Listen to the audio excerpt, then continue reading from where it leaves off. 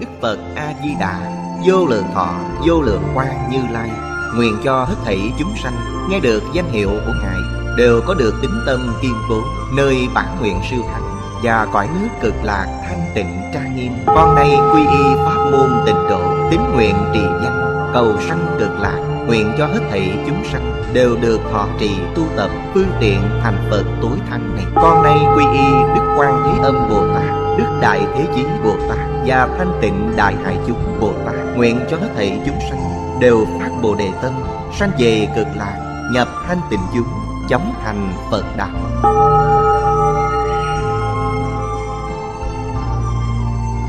Tịnh độ Đại Kinh Giải Diễn Nghĩa Chủ giảng Lão Pháp Sư Tịnh Không Chuyển ngữ Sư cô hành Chơn Biên tập Bình Minh Thời gian ngày 17 tháng 3 năm 2011 Địa điểm, Tịnh Tông Học viện Úc Châu, Tập 329 Chư vị Pháp Sư, Chư vị đồng học, Xin mời ngồi xuống. Mời quý vị xem Đại Thừa Vô Lượng Thọ Kinh Giải. Hàng thứ năm, Câu cuối cùng, Trang 386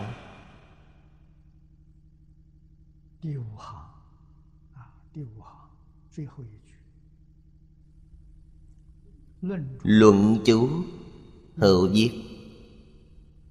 Bất khả tư nghị lực giả, Tổng chỉ bỉ Phật quốc độ, Thất thập chủng trang nghiêm công đức lực.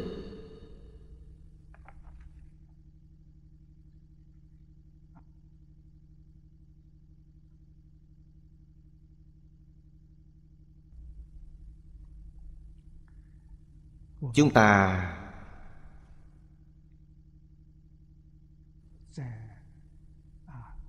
Tham khảo tiếp. Giảng sanh luận của Thiên Thân Bồ Tát. Trong giảng sanh luận nói, Hai mươi chín loại trang nghiêm. Có mười bảy loại y báo. Chúng ta học đến loại thứ mười sáu. Đại nghĩa môn trang nghiêm.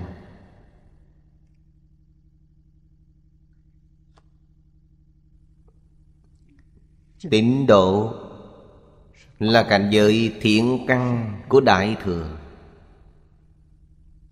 Giới là giới hạn. Nó là Đại Thừa, Không phải là Tiểu Thừa. Không phải quyền giáo, Không phải phàm phu.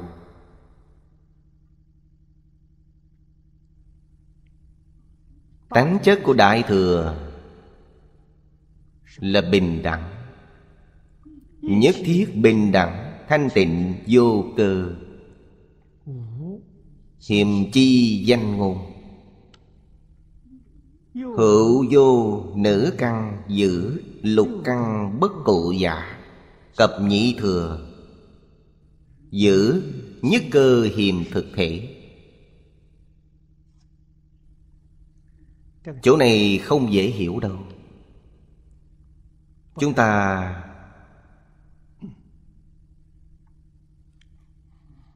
xem chú giải của đàm loan đại sư.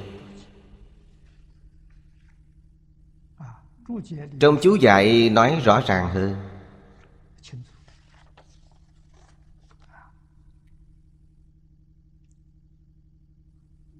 Trong chú giải nói Trang nghiêm đại nghĩa môn công đức thành tựu.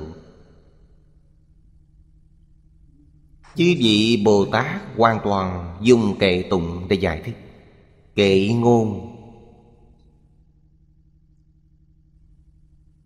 Đại thừa thiện căn giới, Đẳng vô cơ hiềm danh, Đẳng là bình đẳng. Nữ nhân cập gian khuyết Nhĩ thừa chủng bất sanh cổ Tịnh độ quả báo, Ly nhị thừa cơ hiềm quá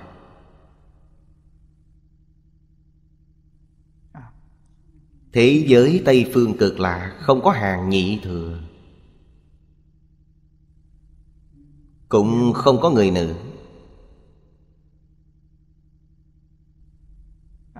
Người nữ đến đó Đều thành Phật.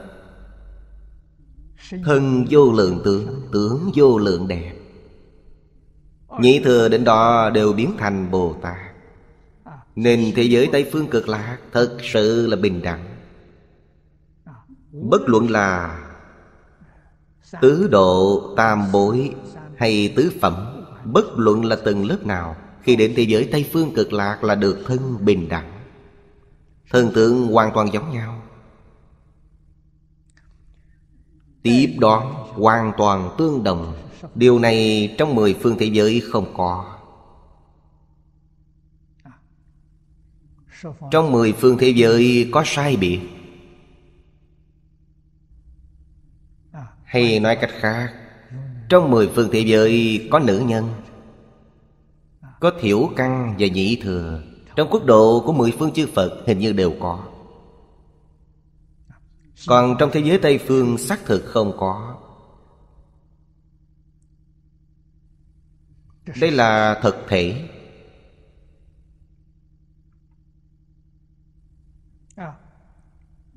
Chẳng những không có ba loại thể.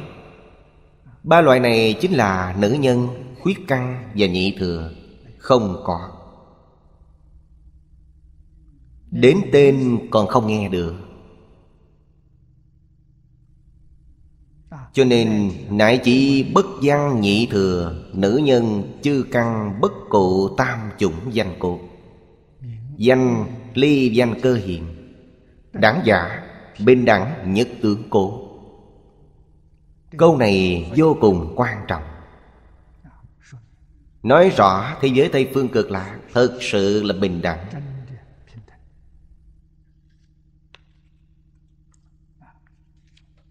Đây là vô lượng trí tuệ đức năng Của Phật A-di-đà.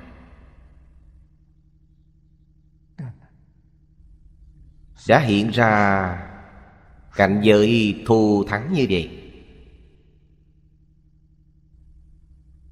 Chúng sanh Phổ di đại thừa chi tác đọa Tác đọa chính là Bồ Tát. Bồ Tát như thế nào? Trong nguyện thứ 20 nói rất rõ ràng. Đều làm A Duy Diệt Trí Bồ Tát. Đây là bình đẳng. A Duy Diệt Trí là Pháp thân Bồ Tát. Vượt ra mười Pháp giới. Nhất vị bình đẳng giả. Đại nghĩa môn giả Vị tịnh độ di thân. Đại thừa nghĩa lợi chi môn hộ giả Điều này nói rất hay. Nên tịnh độ là đại nghĩa môn. Đại thừa nghĩa môn.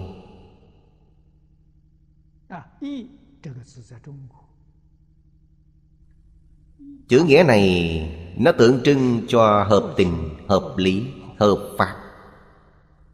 Gọi là nghĩa.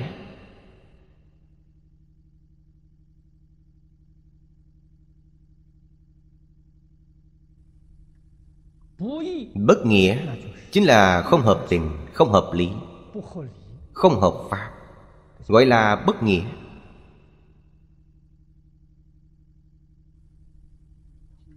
Xã hội hiện nay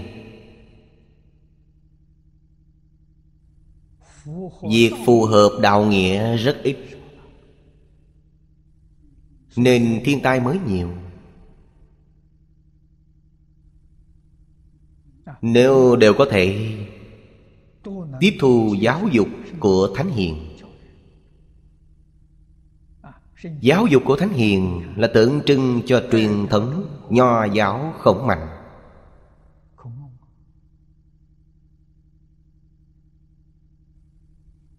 Khổng giết thành nhân. Mạnh giết thủ nghĩa. Khổng mạnh là tượng trưng cho nhân nghĩa. Nhân giả, ái nhân. Nghĩa giả, như lý, hợp lý. Nhất định không làm trái lại với lễ nghĩa. Như lý. Như pháp.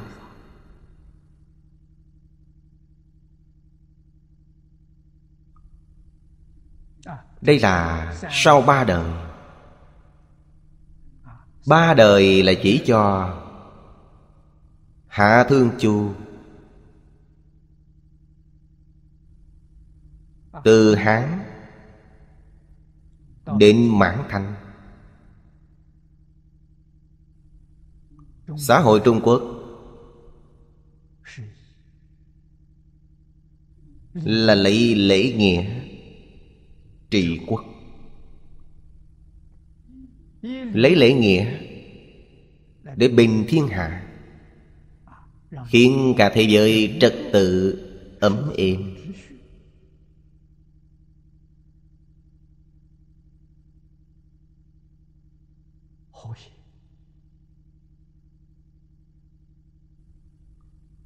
Đều nhờ vào giáo dục này.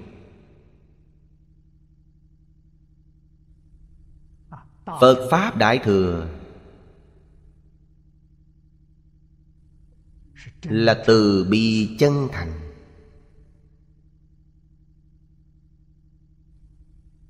Chân thành là lễ. Mọi người đều có thể sống bằng tâm chân thành. Lấy tâm chân thành để làm gì? Lấy tâm từ bị chân thành Để đối nhân tiếp vật. Đây là cánh cửa phương tiện của Đại Thừa.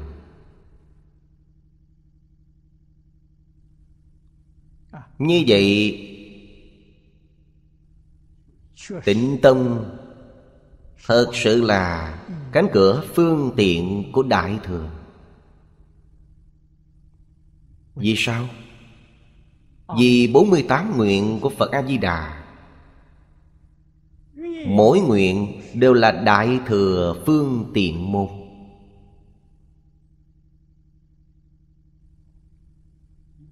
Phật A-di-đà phát nguyện Không phải nguyện suông Mỗi nguyện đều thông qua Năm kiếp tu hành và Ngài đều đã thực hiện.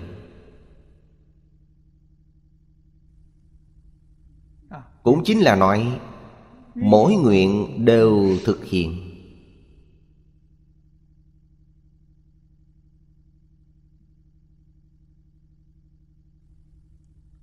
Điều này quá khó.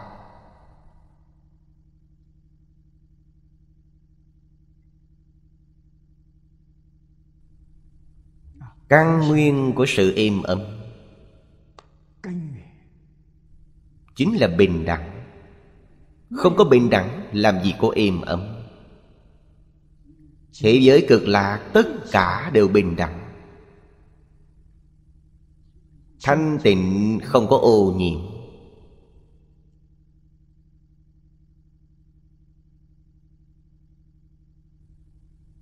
Tự tư tự lợi là ô nhiễm Danh văn lợi dưỡng là ô nhiễm Ngũ dục lục trần là ô nhiễm Tham sân si mạng là ô nhiễm Thế giới cực lạc hoàn toàn không có. Nên mới gọi là Cõi nước thanh tịnh.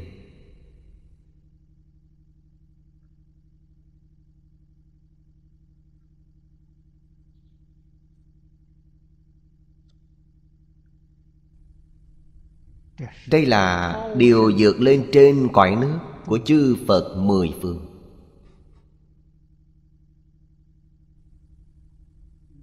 Chúng ta cần phải tỉ mỉ quan sát.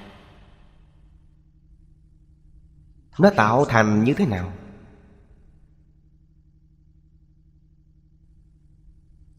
Vì sao quốc độ này tốt đẹp như vậy?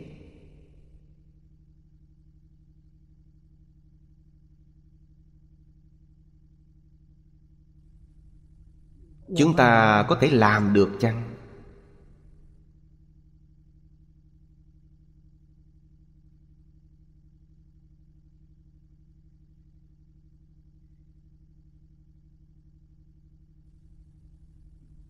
Chúng ta có thể học tập theo Phật A-di-đà chăng?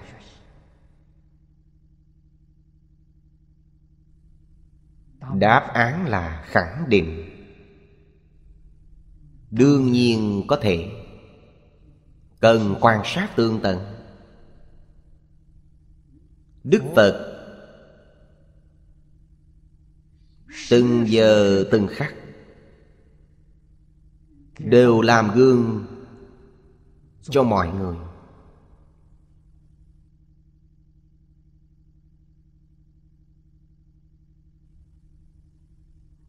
Phật A-di-đà ở thế giới cực lạc. Thế giới cực lạc rộng lớn, Không có giới hạn. Nhưng Phật A-di-đà chẳng có chỗ nào không có. Phật A-di-đà chẳng lúc nào không có.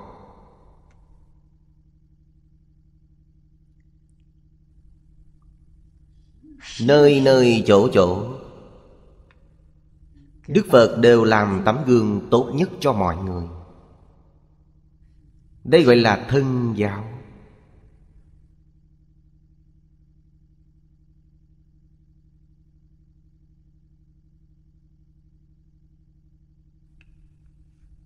Giảng kinh, Thuyết Pháp, Giáo hóa. Chưa từng giảng đoạn.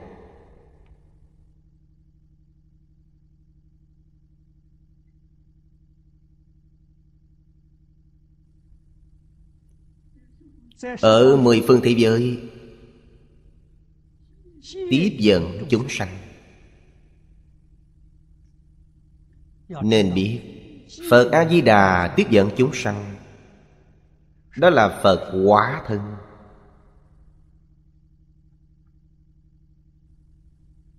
Còn bản thân Phật A-di-đà không rời giảng đường, Vẫn ở đó giảng kinh thuyết Pháp. Chỗ nào có chúng sanh thành thuộc muốn giảng sanh Thì Ngài quá thân đi.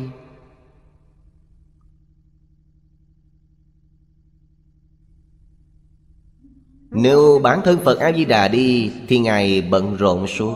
Trong mười phương thế giới, nhiều người giảng sanh như vậy, Làm sao Ngài có nhiều thân như thế để đi tiếp dẫn? Là quá thân. Vô lượng, vô biên quá thân. Quá thân từ đâu mà có? Từ cảm ứng của chúng sanh. Chúng sanh giảng sanh duyên đã thành thục. Họ liền thấy quá thân của Phật A-di-đà. Thật giảng sanh không phải giả giảng sanh. Sanh đến thế giới cực lạc. Cõi phàm thánh đồng cư Hạ hạ phẩm giảng sanh. Đến thế giới cực lạc, Cũng vào được giảng đường lớn của Phật A-di-đà. Trong giảng đường đó, có chỗ ngồi của quý vị. Cũng giống như liên hoa giảng sanh trong ao thất bảo vậy, Liên hoa giảng sanh có tên của chúng ta. Giảng đường cũng có vị trí của chúng ta. Nên sẽ không ngồi sai chỗ. Trật tự rất tốt, Không hề rối loạn.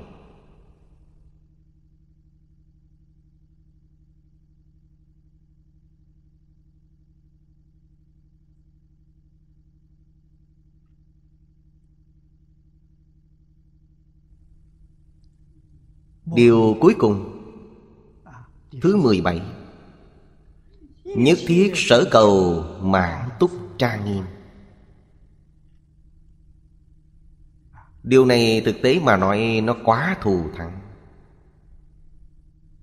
17 loại trang nghiêm này Toàn là nói về y báo. Y báo là nghiêng nặng về nhu cầu vật chất.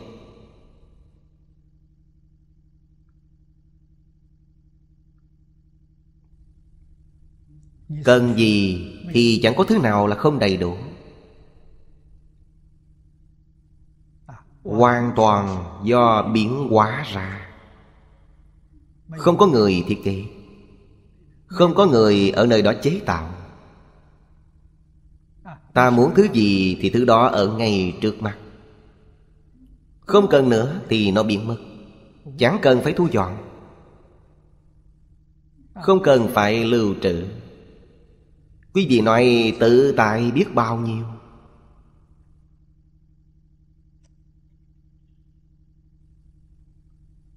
So với sinh hoạt của chúng ta ở đây hoàn toàn không giống nhau.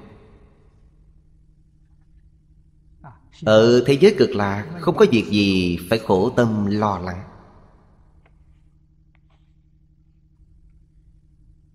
Điều này dạy cho chúng ta Thế giới này chẳng thể không đi.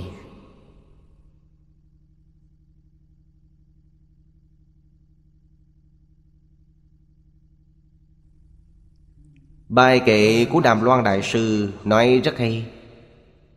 Chúng sanh sở nguyện lạc, Nhất thiết năng mạng túc cốt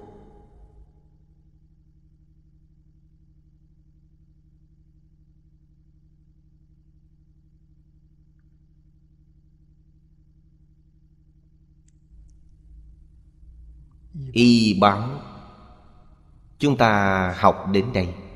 Bên dưới nói thêm về chánh báo. Chánh báo Có 12 loại, Chia làm hai phần. Tám loại của Phật, Bốn loại của Bồ Tát. Chúng ta xem trước Tám loại chánh báo của Phật. Một là tòa trang nghiêm. Vô lượng chi đại bảo dương. Di diệu chi tịnh hoa đài giả. Tòa ở đây là gì? Là chỗ ngồi. Người ở thế giới cực lạc không ngủ, Nên họ không có giường. Chỗ ngồi đều trên tòa hoa sen. Hoa sen. Hương sen ở giữa hoa sen Chính là đài sen. Ở đây nói tịnh hoa đài Chính là đài sen. Do vô lượng trân bảo làm thành Thế giới này không có. Chẳng những thế gian không có Mà trên trời cũng không có. Dục giới thiên, sắc giới thiên đều không có. Cho đến tứ thánh Pháp giới. Thanh văn duyên giác Bồ Tát Phật. Họ cũng không có bảo tọa. So với thế giới cực lạc thì còn thua xa.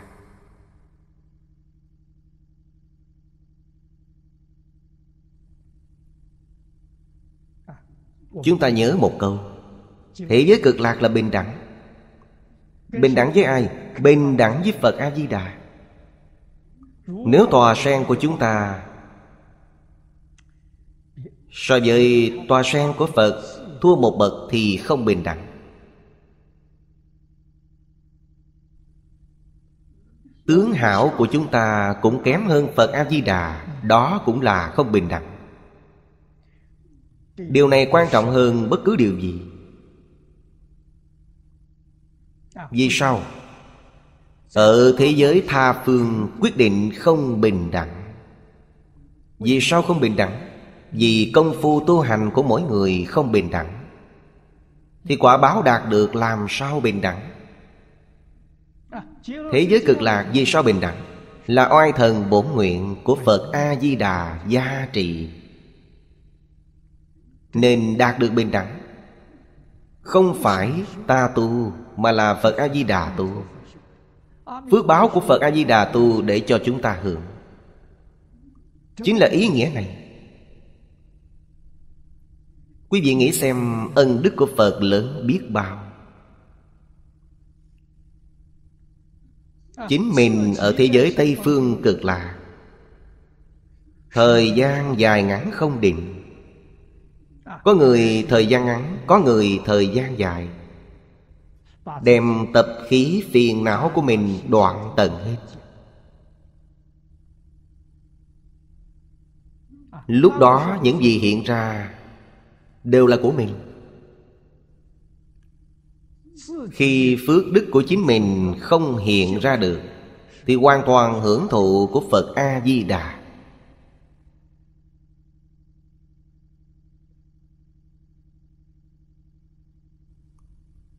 Đến khi tập khí phiền não Vô thị vô minh của mình đoạn tận hết Thì sẽ bình đẳng.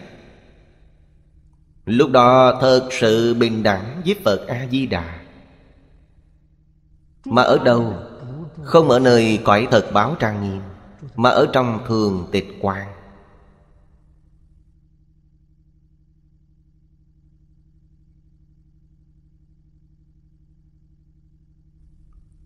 Đến thường tịch quan, Lý sự đều bình đẳng.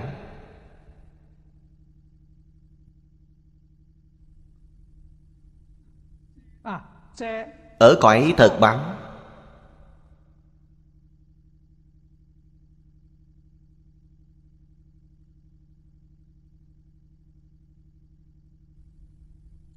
Sự lý đều bình đẳng. Về lý không có gì để nói, Vì đó là tự tánh sự bình đẳng, Đây là được oai thần của 48 nguyện Của Phật A-di-đà, Gia trì.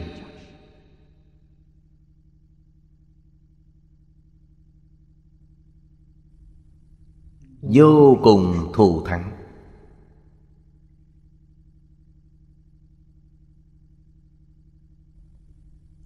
Hai là thân nghiệp trang nghiêm.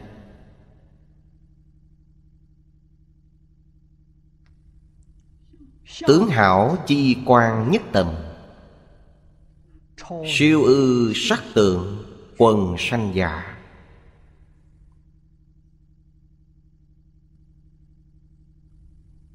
Thân.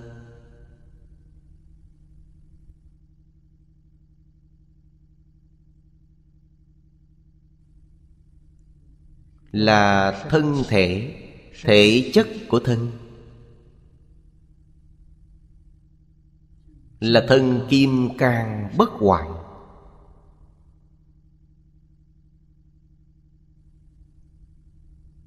Trong kinh Đức Phật giới thiệu cho chúng ta, Phật A-di-đà Là thân tử ma chân kim sắc.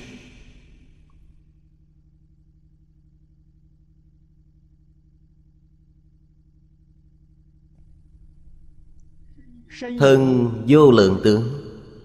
Tướng vô lượng đẹp Đây là thân quan nhất tầm.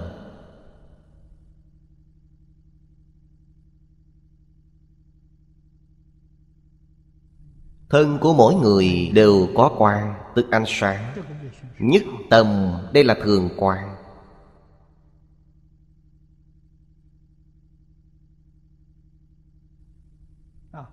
Ở đây chúng ta thờ Phật và Hoa Nghiêm Tam Thánh.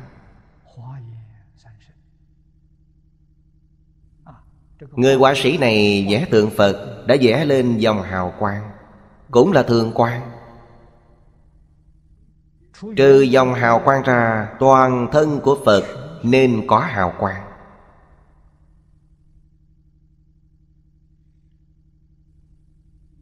Chúng ta thấy Người xưa vẽ tượng Phật Có một vài người đã vẽ ra Nhưng cũng có người chỉ vẽ hào quang trên đỉnh.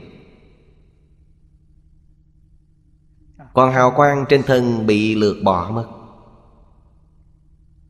dược lên trên sắc tường. Báo thân. Ứng thân, quá thân trong mười phương thế giới Đều có sắc tường. Pháp hưng không có. Vì đã vượt qua.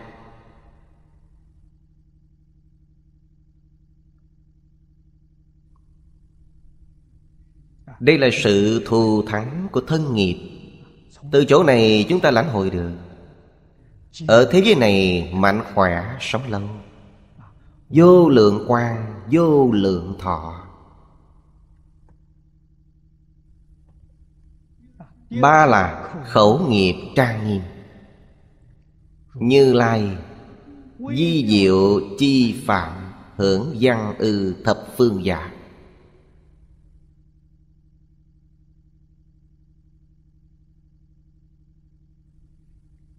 Khẩu nghiệp của Như Lai là giảng kinh giáo hóa. Phương thức giảng kinh rất nhiều.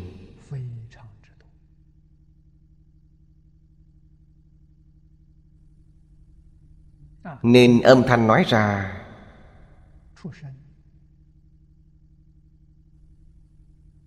Cực kỳ di diệu.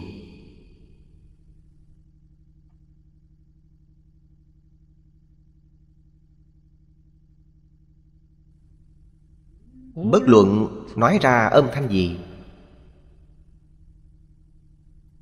Thì âm thanh đó đều là thanh tịnh, Phản hưởng. Chính là âm thanh thanh tịnh. Phạn chính là thanh tịnh Trong âm thanh sung mãn trí tuệ sung mạng đức năng tướng hảo.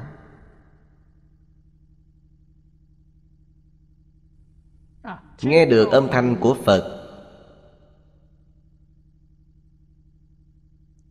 Âm thanh thuyết pháp. Âm thanh tán tùng thông thường chúng ta nói là âm thanh ca hát.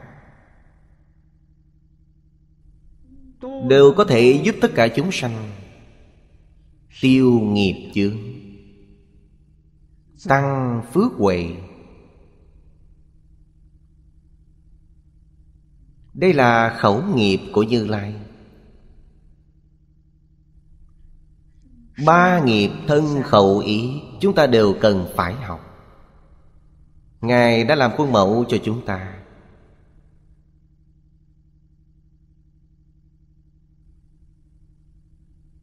Quả báo thù thắng như vậy từ đầu đến?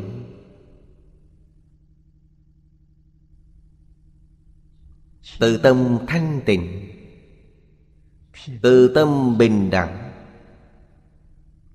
Từ tâm chân thành, Chí thiện từ bi.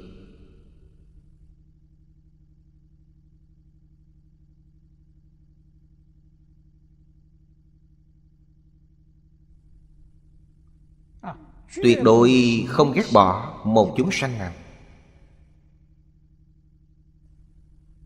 Điều này chúng ta cần phải nhớ và nắm bắt. Vì sao? Tất cả chúng sanh với chính mình Là cùng một thể tự tánh thanh tịnh viên minh. Như vậy làm sao có thể coi thường họ? Chúng sanh này tạo ra nghiệp cực kỳ bất thiện. Đọa vào địa ngục Đọa vào ngạ quỷ, Làm súc sanh. Bồ Tát nhìn thấy chúng, Nhất định chấp tay cung kính Gọi chúng là Bồ Tát. Chỉ là phàm phu chúng ta không biết.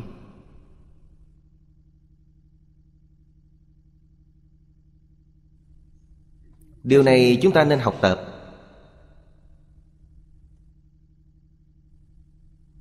Đối đại với chúng sanh trong ác đạo. Đều nên tôn trọng như vậy. Thế nên đối đãi với người và trời không cần phải nói. Người ác trong các người ác, Tức là người cực ác, Bồ Tát đều đối đãi như vậy. Đều tôn trọng họ, Đều cung kính họ. Chỉ cần họ có một chút hành động thiện Đều tán thán họ. Tạo ra ác nghiệp cực nặng cũng không nói Cũng không để trong lòng.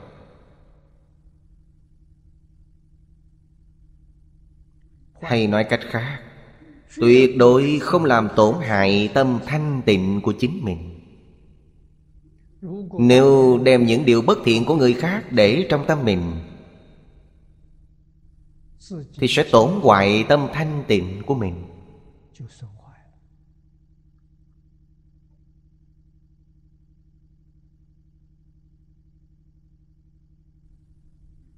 Dù học làm nhiều việc tốt hơn nữa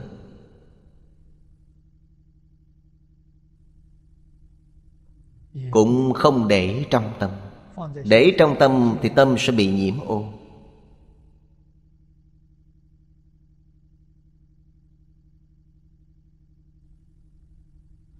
Chúng ta phải thường ghi nhớ, Trong Pháp Bảo Đàn Kinh của Lục Tổ Huệ Năng Có câu, Bổn lai vô nhất vật, Dụng không có vật nào, Dù có làm nhiều việc tốt, Thì dụng không có một vật nào. Tâm diễn diễn là thanh tịnh bình đẳng giác. Như vậy là đúng.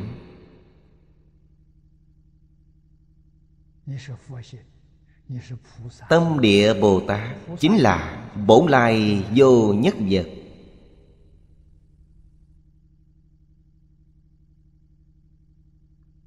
Dù làm nhiều việc tốt Mà bị người phá hoại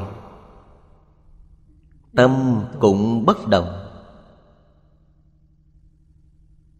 Không sao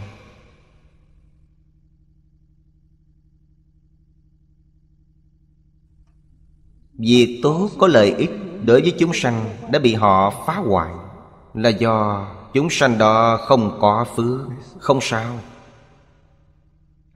Tuyệt đối không để tâm mình dao động.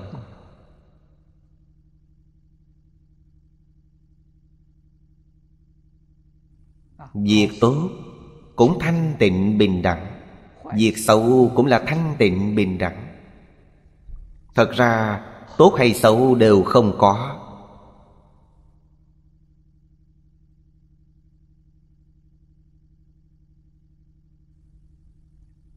Như vậy là tương ưng với tánh đức. Tánh đức là tam luân thể không?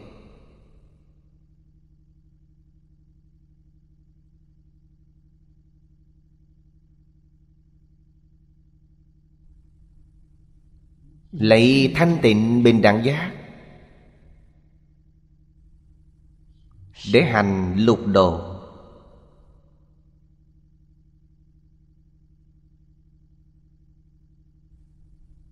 Tu lục hòa.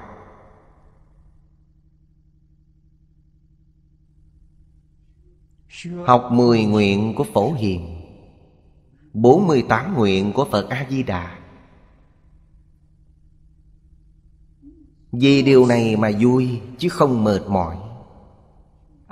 Khi tu học, tâm phải thanh tịnh. Quyết định không thể có nhiễm ô. Phàm phu tu hành, vấn đề lớn nhất chính là Họ có nhiễm ô.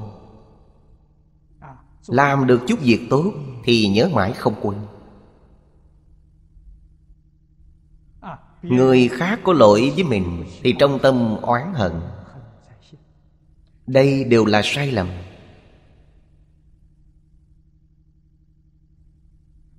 Nên chính mình tu hành vĩnh viễn không thể thành tựu. Tâm thanh tịnh không thể hiện tiền.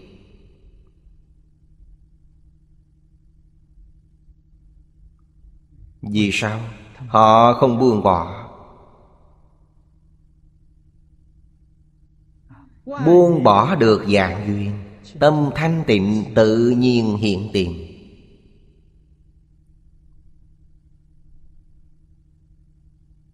Nên khẩu nghiệp trang nghiêm, Thật di diệu. Cần phải nên học tập. Thân nghiệp trang nghiêm, Khẩu nghiệp trang nghiêm Đều phải học tập. Thứ tư là tâm nghiệp trang nghiêm. Thông thường chúng ta thường nhìn thấy là thân khẩu ý. Ở đây không phải là ý, mà là tâm.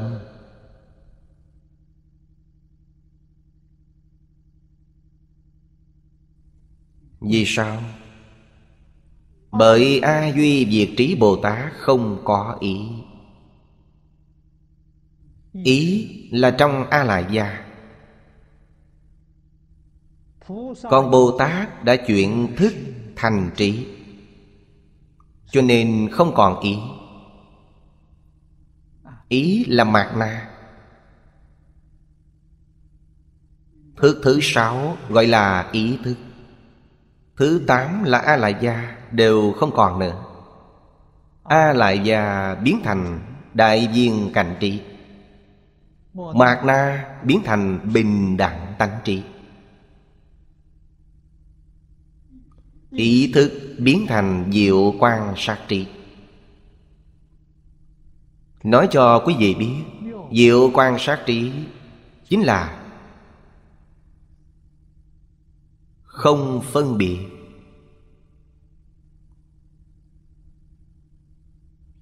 Bình đẳng tánh Chính là thanh tịnh,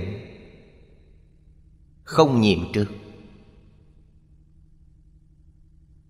Đại viên cảnh trí Chính là đại triệt đại ngộ. Trong đề kinh của chúng ta là giác. Chuyển đại viên cảnh thành giác. Chuyển mạt na thành bình đẳng. Chuyện đệ lục ý thức Thành thanh tịnh.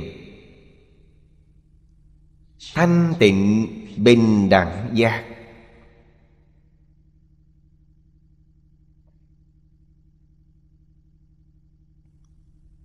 Sau đó, Thân ngự ý Đều có thể thành tựu Vô lượng vô biên công đức.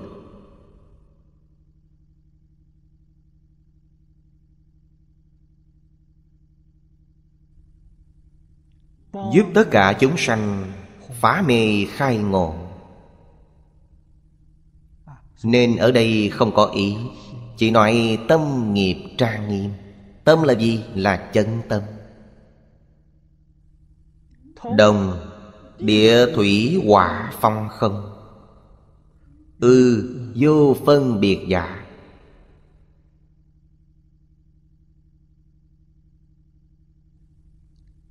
Địa, thủy, hỏa, phong, không. Trong Kinh Lăng Nghiêm nói Thất đại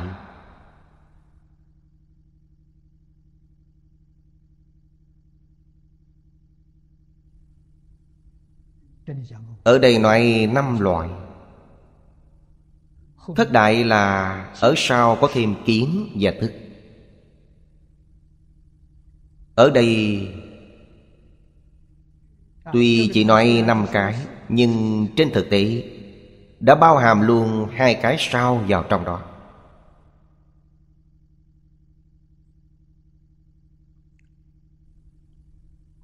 Trong hội Lăng Nghiêm Bồ Tát Đại Thế Chí. Tu kiến đại trong thất đại Kiến đại trong địa Thủy, hỏa, phong, không Kiến thức. Bồ Tát Di Lạc tu là thức đại.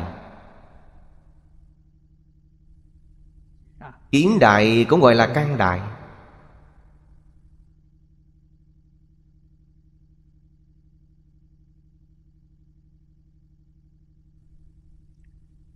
Những thứ này có hay không có? Tướng Thì có tánh không? Sự có lý thì không?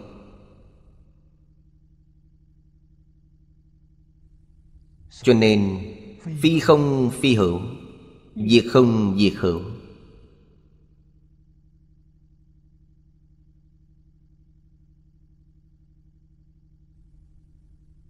Ờ. có thể dùng nó để thành tựu.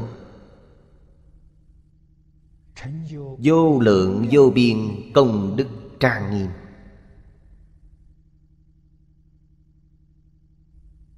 Không thể chấp trước. Không thể phân biệt. Hay nói cách khác, không được khống chế, không được chiếm hưởng. Thì ta có thể hưởng được lợi ích từ nó. Còn nếu như chiếm hữu, Muốn khống chế nó là sai. Phiền não sẽ khởi hiện hành, Chúng ta sẽ bị đọa lạc.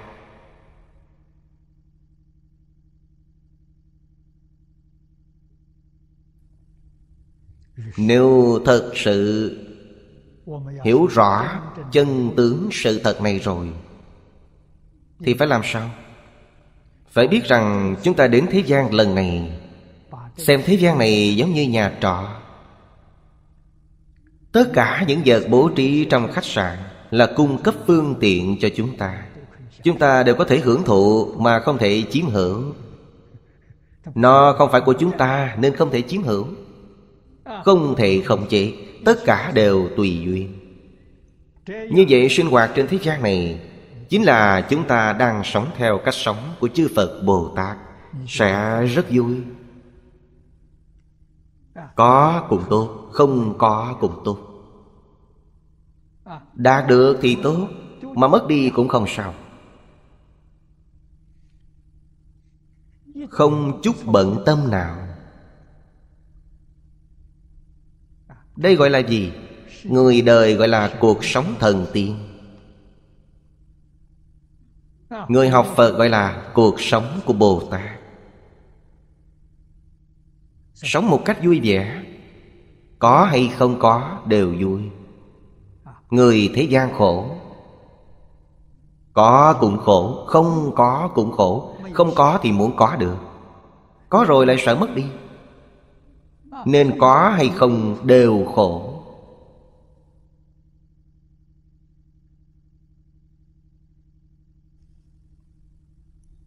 Thầy Phương Đông Mỹ giới thiệu Phật với tôi. Ông nói, Học Phật là sự hưởng thụ cao nhất của đời người.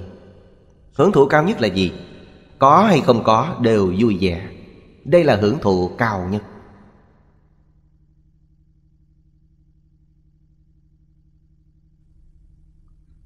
Tiến thêm một bước nữa, Có thì phải bố thí.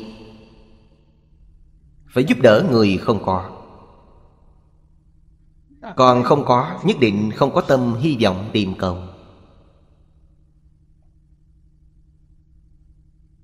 Ngày mai không có cơm ăn, Ngày nay vẫn rất vui.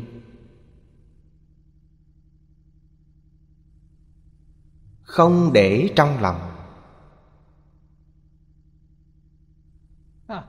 Người niệm Phật, Trong tâm chỉ có Phật A-di-đà Ngoài Phật A-di-đà ra, Cái gì cũng không có.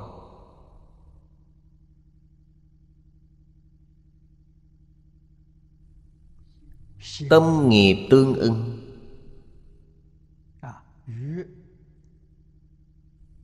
Và tịch tịnh tương ưng. Nói cạn một chút Thì tương ưng với định tuệ. Tâm là định. Định sanh trí tuệ. Năm là Đại chúng trang nghiêm. Bỉ độ chi nhân thiên thánh chúng. Giai thành tựu đại thừa thiện căn. Do Như Lai thanh tịnh, Chi trí hải nhi sanh giả Đại chúng Là mười phương thế giới. Đại chúng này giảng sanh đến thế giới cực lạc.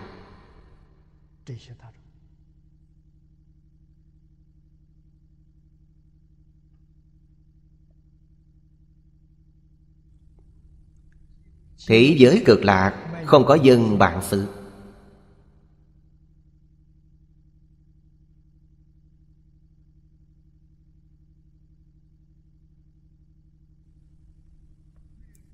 Cần phải nói là dân gốc chỉ có một người Người đó là Phật A-di-đà. Thế giới cực lạc này do Ngài sáng tạo. Ngài kiến lập. Còn lại đều là người di dân đến.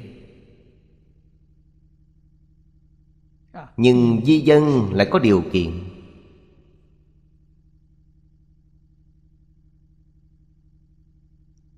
Điều kiện này ngay trên đề kinh. Là thanh tịnh, bình đẳng giác rất quan trọng. Trong kinh phật cũng nói rất nhiều. Tâm tịnh thì cõi nước tịnh. Ngài ở nơi đó là tịnh độ. Tâm không thanh tịnh, không thể giảng sanh.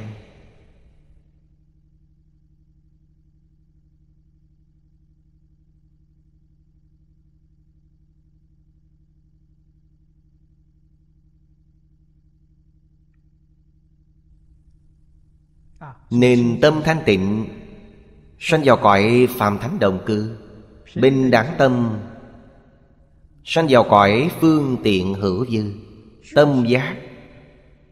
Là đại triệt đại ngộ, Minh tâm kiến tánh, Đó gọi là giác. Sanh vào cõi thật bảo trang nghiêm.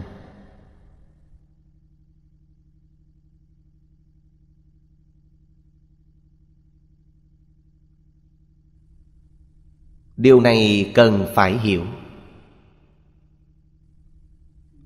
Chuẩn bị giảng sanh Là cần phải đem những thứ tạp loạn trong thế giới này buông bỏ hết. Chỉ cần có một việc dưỡng mắt Thì không đến được thế giới cực lạ. Nên phải buông bỏ hết toàn bộ.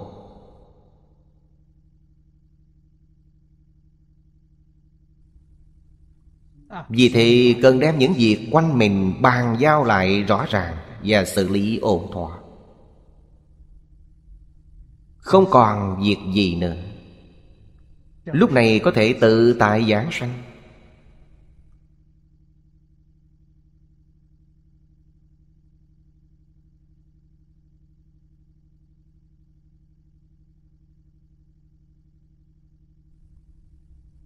Niệm Phật giảng sanh. Trước đây, Quý vị đã xem Tịnh độ Thánh Hiền Lục, Giảng sanh truyện. Giảng sanh đến thế giới Tây Phương cực lạc. Ví dụ nhiều nhất là Tăng chúng xuất gia. Thứ hai, Ni chúng xuất gia. Thứ ba là Người nam tại gia. Thứ tư là người nữ tại gia.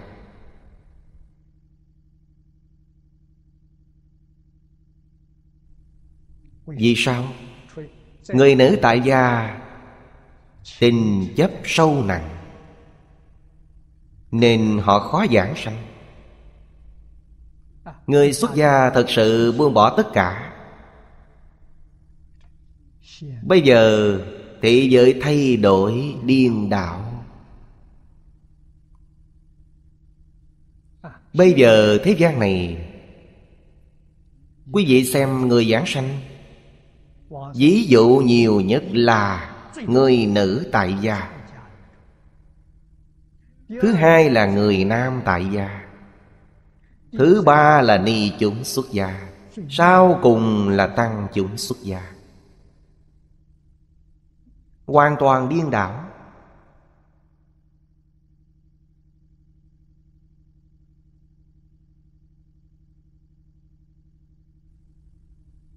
Vấn đề không gì khác, chính là thật sự buông bỏ được. Điều này quan trọng hơn so với bất cứ điều gì.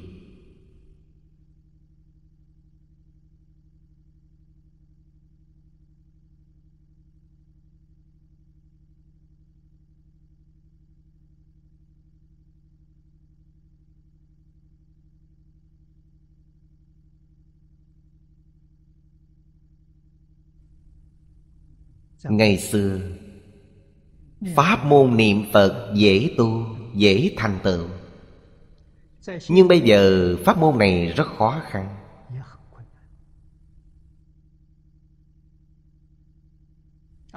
Cư sĩ Lý Bính Nam thường cảm thán Người niệm Phật nhiều Nhưng người thật sự giảng sanh rất ít. Ông là người sáng lập Liên xã ở Đài Trung.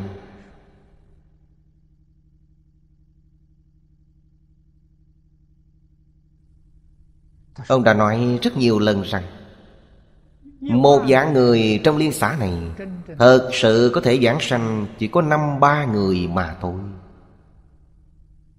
Thật khó.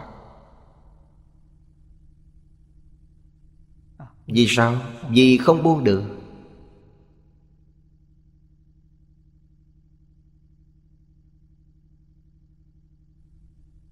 Đối với thế giới cực lạc, Tuy rất thích, Rất ngưỡng mộ, Nhưng không có lòng tin. Cuối cùng có hay không có cõi cực lạc Là thật hay giả? Nghi vấn này làm chướng ngại sự giảng sanh.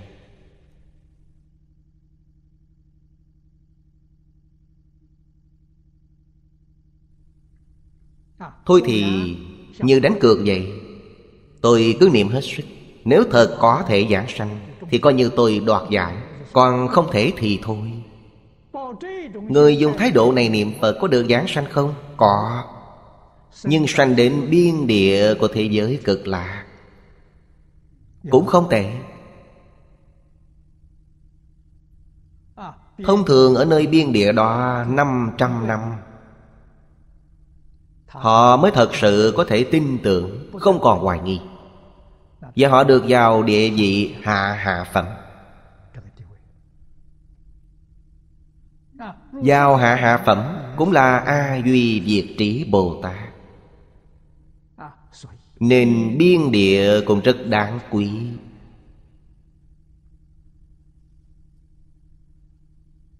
Họ thật sự đến thế giới cực lạc nếu hoài nghi không chịu thực hành, Thì duyên đời này đã bị bỏ lỡ. Như vậy thì là thật đáng tiếc.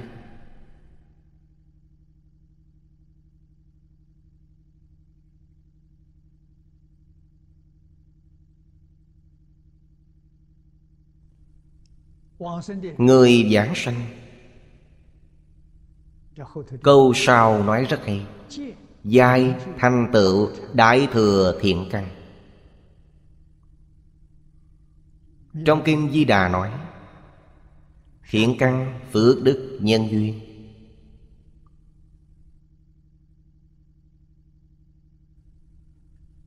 Ba điều kiện này không thể thành tựu Thì không thể giảng sanh. Ba điều kiện này thành tựu. Thì Phật biết. Chúng ta không cầu Phật A-di-đà, Thì Phật A-di-đà cũng biết. Vì sao? Tin tức, khởi tâm động niệm của ta Từng giờ, từng khắc trong ngày, Phật A-di-đà hoàn toàn đều nhận được. Chỉ cần đầy đủ ba điều kiện này chưa khởi lên ý niệm cầu giảng sanh thế giới cực lạc. Thì Phật A-di-đà đã đến hoan nghênh quý vị, Thông báo cho quý vị rồi. Vì sao? Vì quý vị phù hợp điều kiện của Ngài.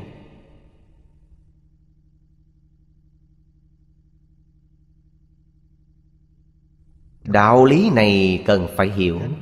Người đồng với tâm này, Tâm đồng với lý này.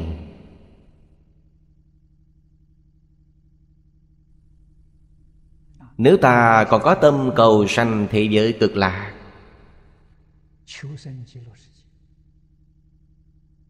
Có tâm cầu Phật A-di-đà đến tiếp dẫn. Cảm ứng này thật không thể nghĩ bàn. Do Như Lai, Thanh tịnh chi trí hải nhi sanh. Đây là Phật A-di-đà gia trị. Ánh sáng của Phật chiếu soi chúng ta.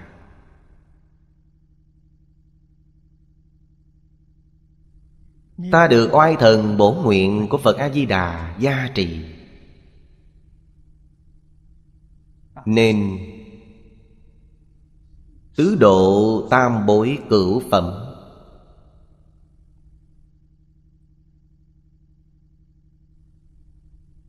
Trang nghiêm thù thắng bình đẳng.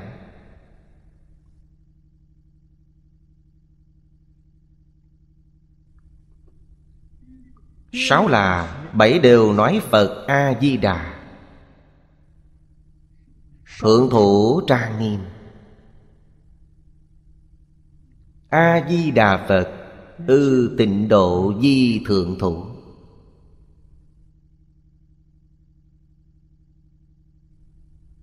Như tu di sơn dương thắng diệu. Vô hữu siêu quá giả giả Lấy tu di sơn dương để làm ví dụ. Dương là lớn nhất, cao nhất. Trong tất cả các ngọn núi Thì ngọn núi này là cao nhất, lớn nhất.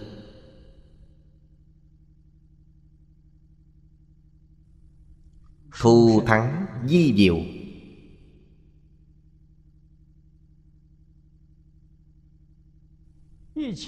Trong các dãy núi, Không có núi nào có thể vượt qua núi Tu Di. Dùng Tu Di để so sánh với chư Phật Như Lai. Tượng trưng Phật A-di-đà Là vua trong các vị Phật.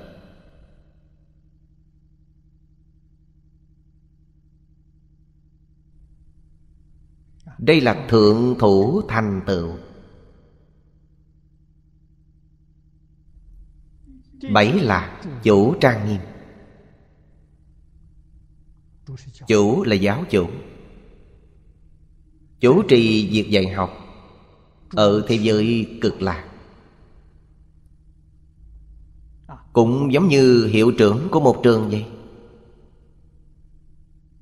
A-di-đà Phật Di bỉ độ chi giáo chủ.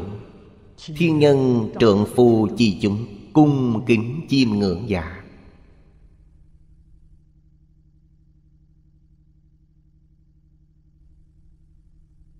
Trời và người.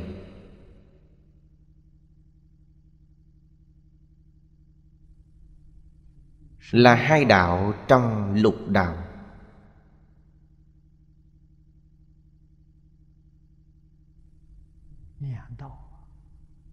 Thế giới Tây Phương cực lạc Cõi phàm thánh đồng cư chỉ có trời và người. Không có ba ác đạo. Thế giới cực là không có địa ngục, ngạ quỷ, súc sanh.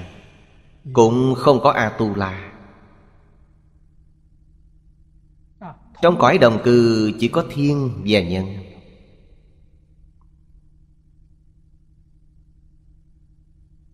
Trượng phu. Đều có thể xưng đối với thanh văn, duyên gia, Bồ Tát. Những đại chúng giảng sanh Đến thế giới cực lạc.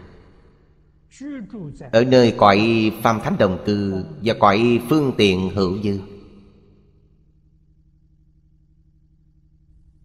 Đối với giáo chủ cung kính chiêm ngưỡng.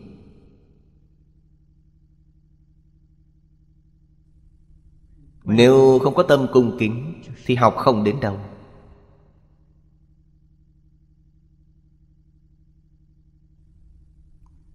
Những thành quả mà ta học được,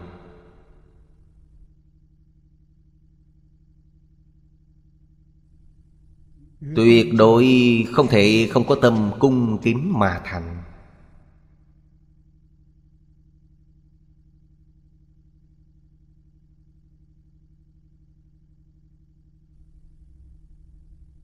Nên sanh đến thế giới cực lạc.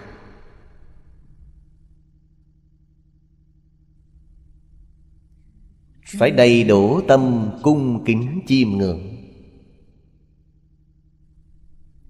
Chúng ta bây giờ Còn chưa đến thế giới cực lạc. Nhưng trong lòng muốn đến thế giới Tây Phương cực lạc Mà không có cung kính chiêm ngưỡng Thì làm sao được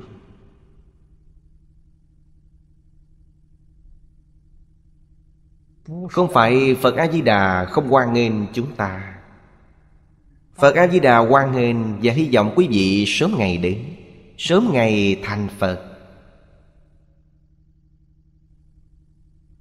Chỉ vì chúng ta chưa sanh khởi tâm cung kính. Đây là nguyên nhân gì?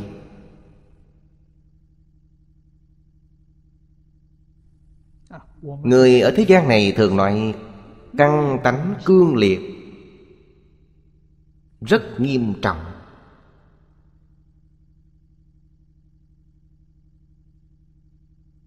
Biểu hiện bên ngoài lơ là sơ suất.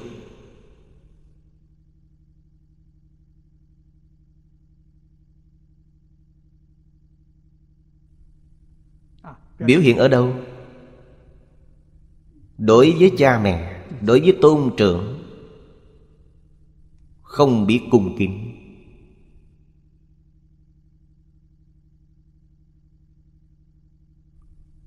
Cho nên đối với Thầy, đối với Phật Cũng chưa phải là thật sự cung kính. Nên không để ở trong lòng.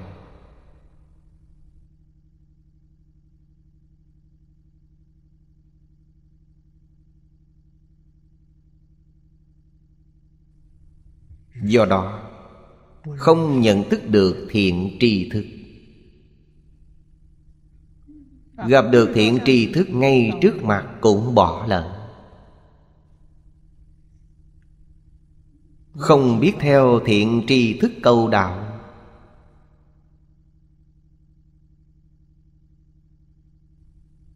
Câu học. Không biết.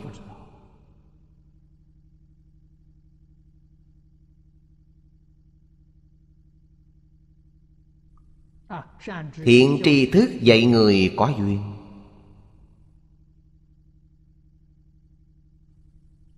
Định tham dự đạo tràng của họ, Ở trong đạo tràng nghe họ giảng kinh dạy học. Mà nghe không vào.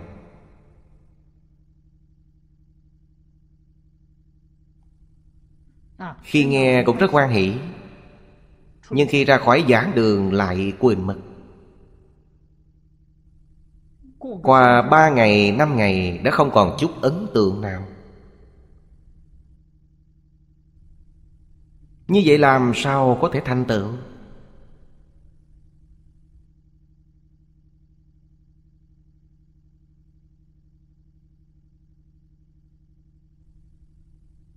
Người xưa đọc sách nghe giảng nhiều lần Huấn luyện từ nhỏ.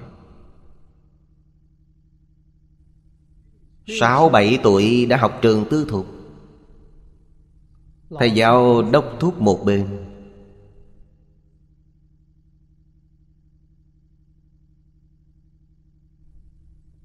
Dạy ta học.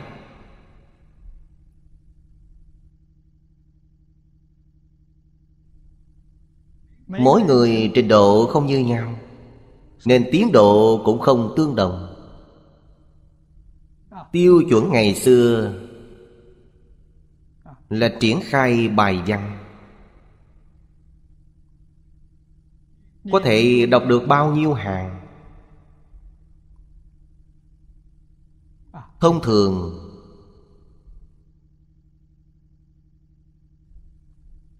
Người thiện căn Rất thông minh.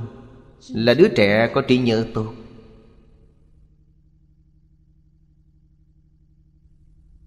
Có thể đọc 500 chữ. Tiêu chuẩn là gì? Một bài văn 500 chữ. Đọc 10 lần phải thuộc. Lấy điểm này làm tiêu chuẩn. Đây là những người thiện căn. Trung căn thì 300 chữ. Hạ căn thì 100 chữ một trăm chữ đọc mười lần thuộc là người hạ căn. Trung căn, ba trăm chữ đọc mười lần sẽ thuộc. Sau khi thuộc, Thầy giáo đốc thúc chúng ta Đọc hai trăm lần. Vì sao? Như vậy sẽ không quên.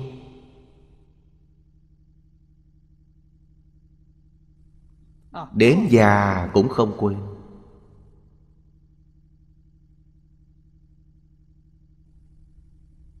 Người bây giờ không thích đọc sách.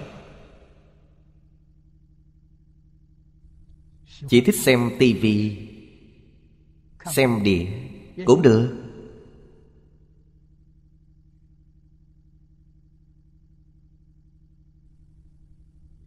Xem đĩa, Nếu có thể xem trên 10 lần mà có thể nhớ. Thì đây là thượng căn. Hai mươi biến có thể nhớ là trung căn. Ba mươi lần có thể nhớ là hạ căn. Tôi nói với chư vị đồng tu, Tôi là hạ căn. Có đĩa hay? Tôi xem sẽ không ít dưới 30 biến. Vì sao? Vì như vậy mới thật sự có ấn tượng, Mới có thể nhớ. Khi nhớ, Mới có thể từng giờ, từng phút trong cuộc sống hàng ngày Nhắc nhở mình.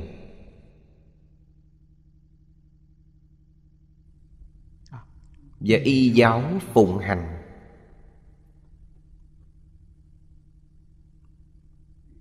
Đối với công việc hàng ngày nó giúp tôi phản tỉnh giúp tôi sửa đổi chính mình chưa đến ba mươi biến thì ấn tượng chưa sâu sắc.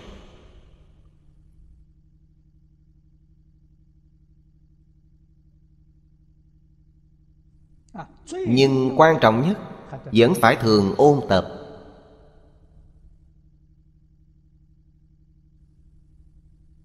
Như vậy mới có thể thật sự được lợi ích. Những thứ học được mà không thực hành trong sinh hoạt hàng ngày Thì cũng vô dụng.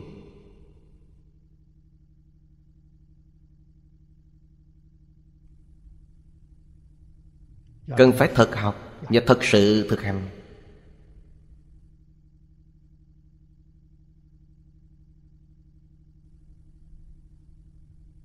Nên đối với Thầy Giáo chủ Cung kính chiêm ngưỡng. Chúng ta có thể làm tốt Cũng để người khác thấy.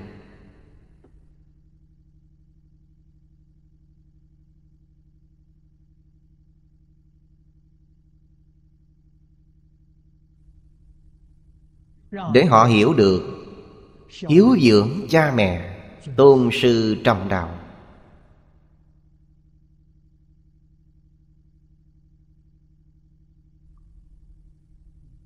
Người hiểu nhiều, Người làm theo nhiều, Thì thế giới này được cứu.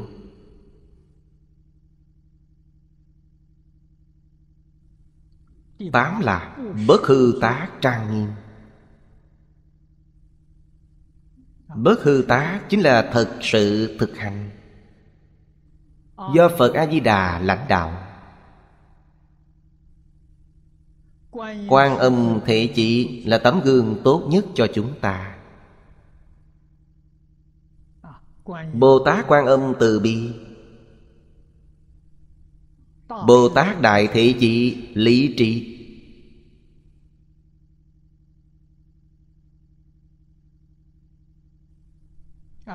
Từ bi, nếu dùng tình cảm,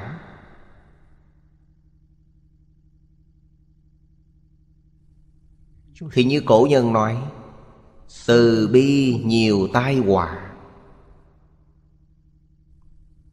Từ bi của tình cảm thật đáng sợ Thương mù quáng Chiều chuộng, Nhất định xảy ra vấn đề. Nên Bồ Tát Đại Thị Chị Dạy con người lý trí, Không dùng cảm tình Mà dùng trí tuệ. Từ bi có trí tuệ Mới có thể giúp chúng sanh Phá mê khai ngộ, Lìa xa đau khổ Để đạt được Niết Bàn an vui.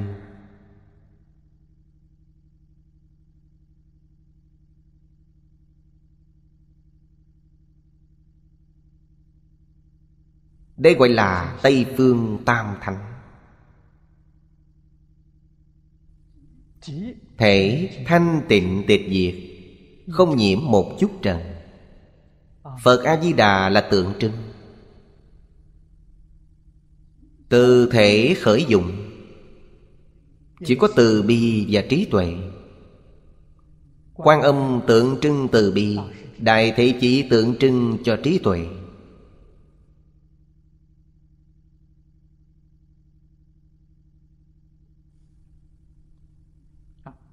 Hoa Nghiêm Tam Thánh trên hội Hoa Nghiêm.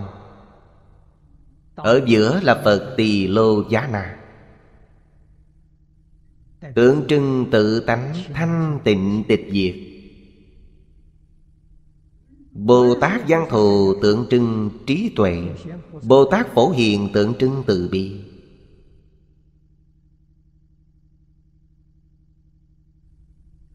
Từ nhất thể khởi nhị dụng Hai vị Bồ Tát tượng trưng cho nhị dùng, Một là phước, một là trí.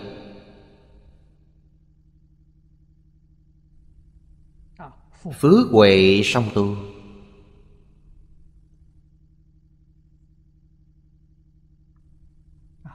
Nguyện lực 48 nguyện của Phật A-di-đà Không phải là giả dối.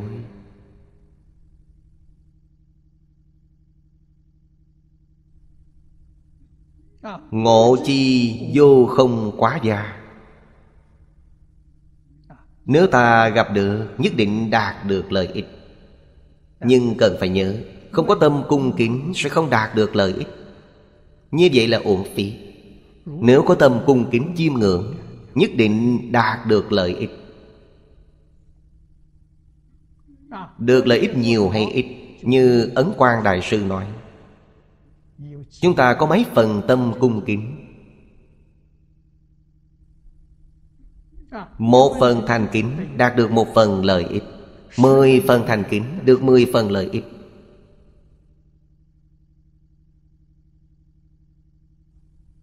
Cũng chính là nói, Ta có mười phần cung kính, Thì ta có thể lấy lại mười phần, Tiếp nhận mười phần.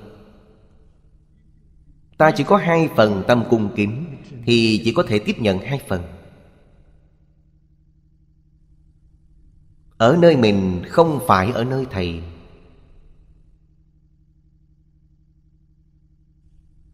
Trong Phật Pháp nói, Đức Phật dùng một âm thanh mà thuyết Pháp. Chúng sanh tùy loại mà được giải thoát. Không giống nhau. Lợi ích chúng sanh đạt được không giống nhau.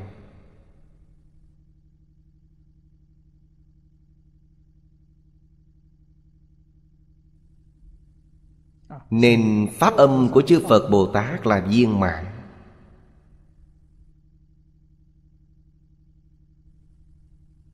Chúng sanh có thể đạt được bao nhiêu Là do phước huệ của họ không giống nhau.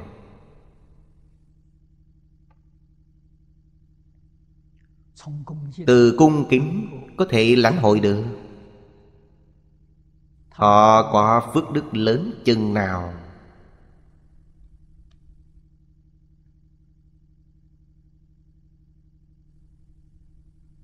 Có lúc Thầy đặc biệt quan tâm họ. Để họ được tăng thượng duyên Giúp họ mau thành tựu.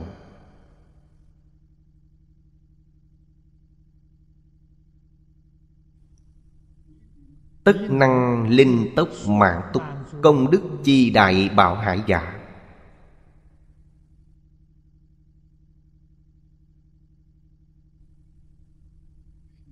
Bậc thượng căn Cũng chính là Người có mười phần tâm cung kính.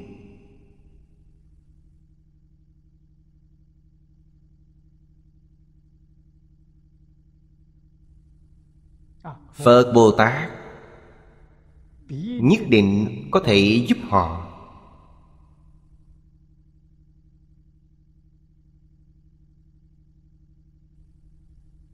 Sớm ngày viên mãn công đức. Thành tựu phước huệ. Vì sao? Họ sẽ giống như Phật Bồ Tát, Phổ độ chúng sanh.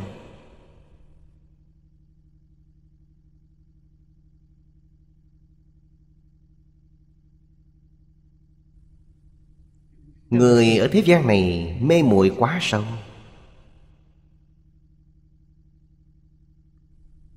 nên sai lạc quá nhiều. Nếu không quay đầu,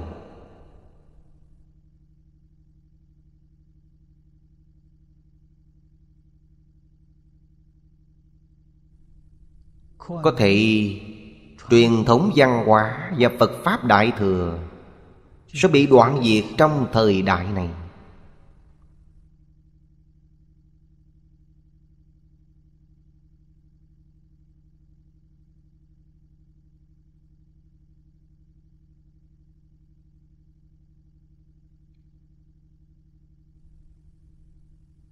Phật Pháp diệt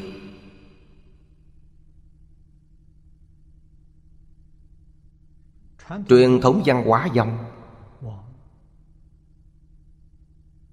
Thì người thế gian này sẽ khổ. Vô cùng đau khổ.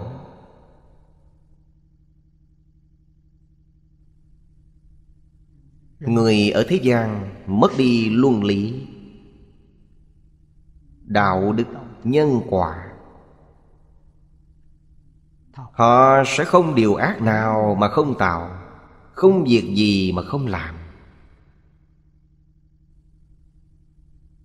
Toàn bộ xã hội sẽ loạn. Thiên tai cũng theo đó mà đến.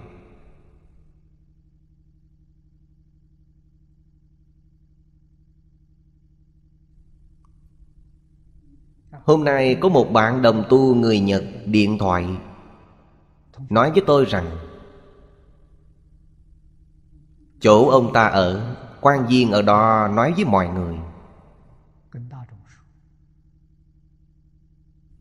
Thiên tai là do lòng người bất thiện.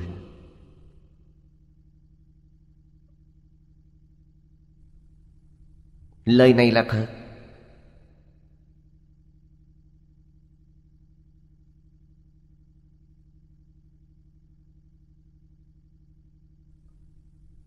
Đây là trí tuệ chân thật. Quá giải thiên tai không có gì khác. Ngoài việc đoạn ác tu thiện, Cải tà quy chánh, Thì tai nạn có thể quá giải. Dưới đây chúng ta xem bốn loại trang nghiêm của Bồ Tát. Một là Bất động bổn xứ.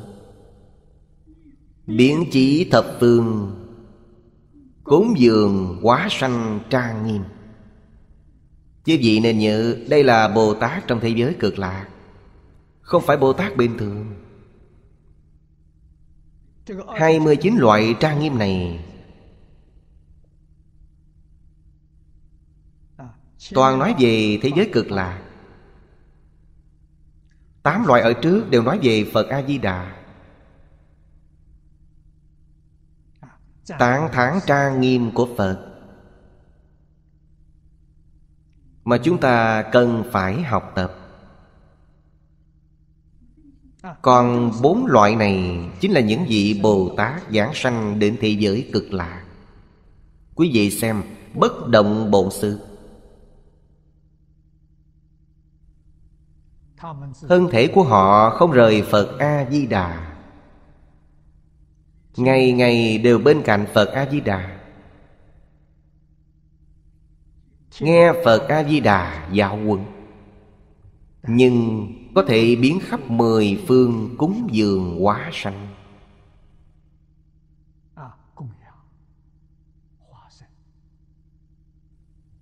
Hóa sanh là giáo hóa chúng sanh. Đến mười phương cúng dường chư Phật đang giáo hóa chúng sanh. Họ phân thân đi. Mỗi người nơi thế giới cực lạ Đều có năng lực phân vô lượng vô biên thân.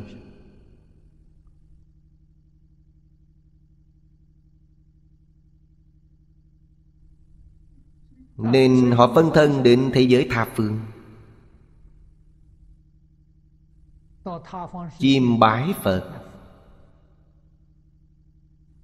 Cúng dường phật. Để tu phước báo. Nghe phật giảng kinh thuyết pháp tăng trưởng trí tuệ. Đồng thời gặp được người có duyên.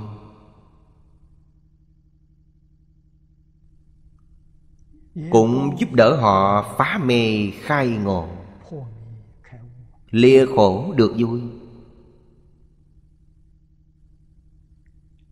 Được đại tự tại.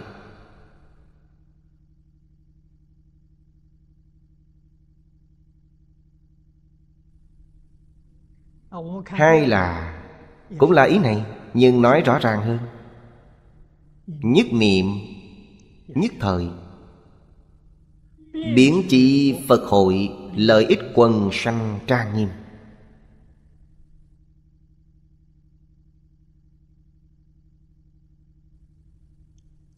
Thứ nhất là chú trọng việc cúng dường. Thứ hai, chú trọng trong hội của phật. Hội của phật là gì? Là giảng đường nơi chư phật như lai dạy học. Mọi người tụ hội tại giảng đường, Nghe Phật giảng kinh giáo hóa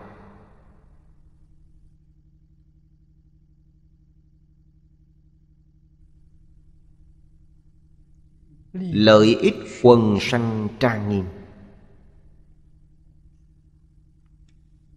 Phải chú ý nhất niệm nhất thời.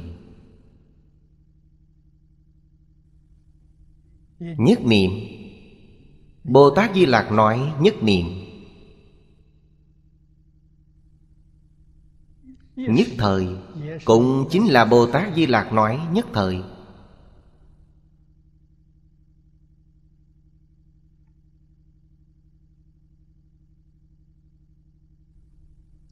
Cực kỳ di tế. Phật ở đâu? Ngày nay chúng ta đã hiểu.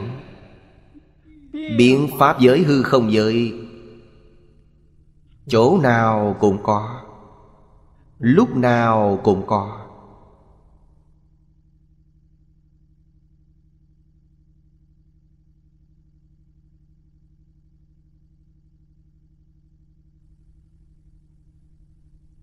Chư Phật trong thế giới cực lạc Là thân Pháp tánh.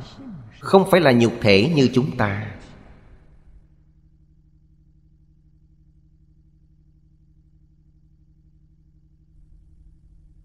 Thân các ngài không có thể tích Không chiếm không gian.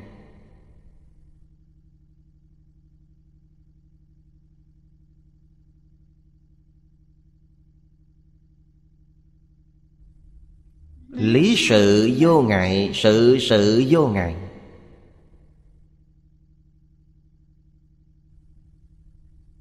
Chư Phật Bồ Tát giảng cho chúng ta rất rõ ràng, minh bạch.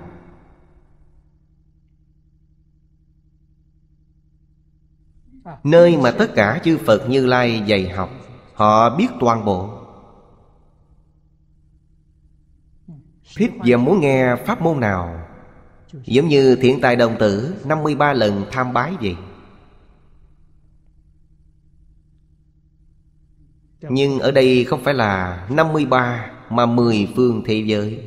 Mỗi ngày vô lượng vô biên, Vô tận vô số.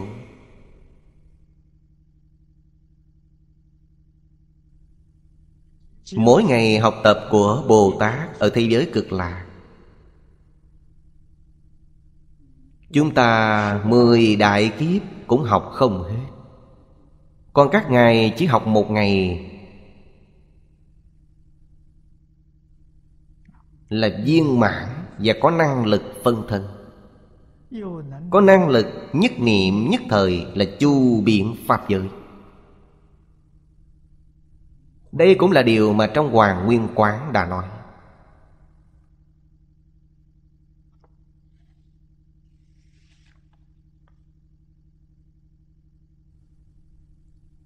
Ba là Nhất thiết thế giới tán thán chư Phật trang nghiêm.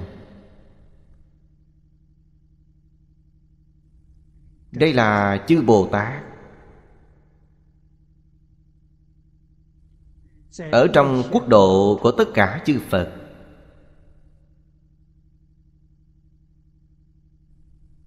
Lễ kính chư Phật, Tán thán như lai Quảng tu cúng dường. Đây là Pháp phổ hiền. Làm để chúng sanh nơi thế giới đó xem. Để dẫn dắt họ tu. Chúng sanh Trong cõi phàm thánh đồng cư, Tại sao lại đáng thương như vậy? Họ không biết tu phước. Chư vị Bồ Tát dẫn đầu làm để họ xem.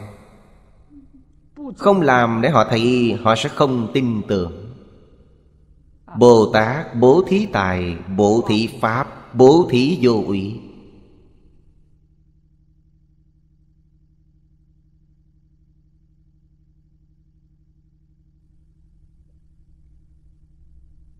Nên quả báo họ đạt được.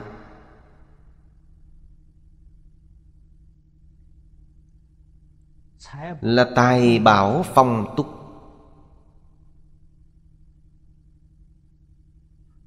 Trí tuệ rộng lớn. Người ở thế giới Tây Phương thọ mạng vô lượng. Mỗi người đều là vô lượng thọ.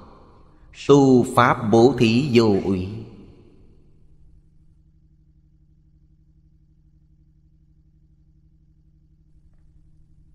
Chúng ta phát tâm.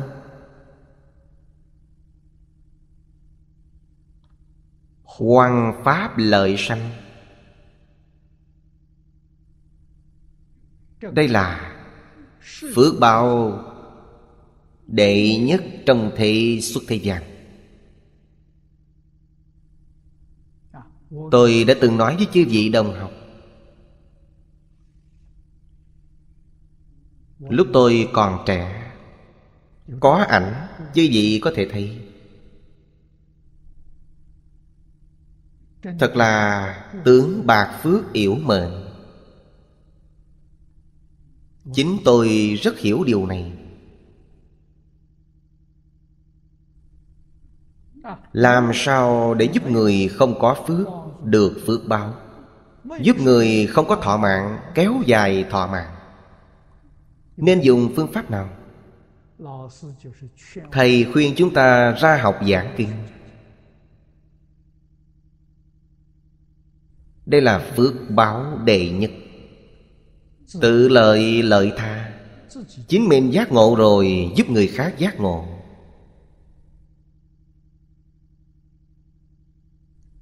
Không có phương pháp nào tốt hơn phương pháp này.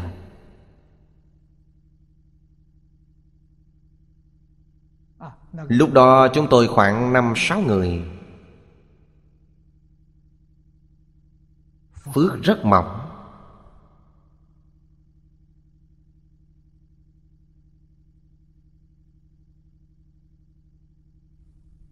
Tôi là một trong số đó.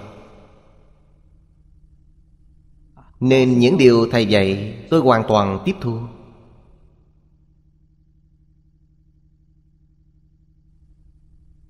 Thầy nói với tôi, Giảng kinh Là ba loại bổ thị Đầy đủ một lúc.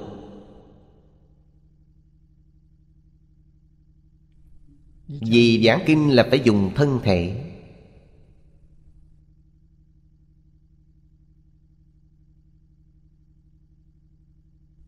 Mà thân thể Là nội tài bố thí. Bố thí cho thính chúng.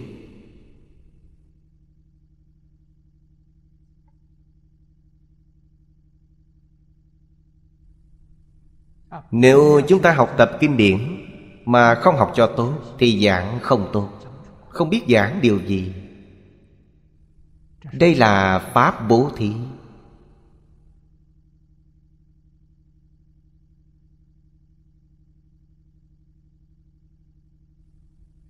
tu tài thí, tu pháp thí. Trong đó bao hàm vô úy thí. Niệm niệm, đều hy vọng mình và người. Nghiệp chướng tiêu trừ, phước huệ tăng trưởng đây chính là thuộc về bố thí vô úy gọi là nhất cử tam đắc.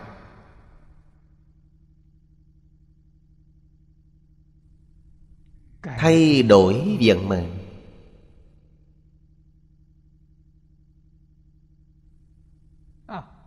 số mệnh không có phước huệ, không phải việc xấu, là việc tốt.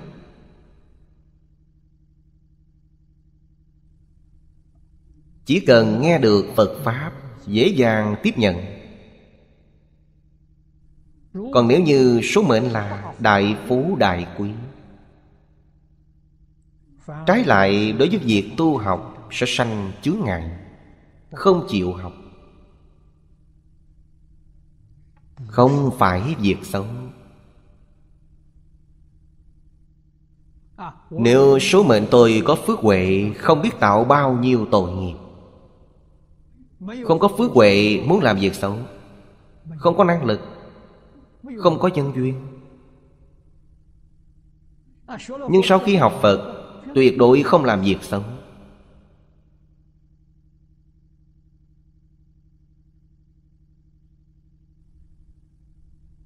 Cho nên tuyệt đối không nên oán than Tôi nghèo cùng bần tiện, Không có của cải, Không có địa vị. Tự mình oán hận mình là sai. Chúng ta tu học đạo Thánh Hiền, Tu học cơ sở Đại Phước Huệ.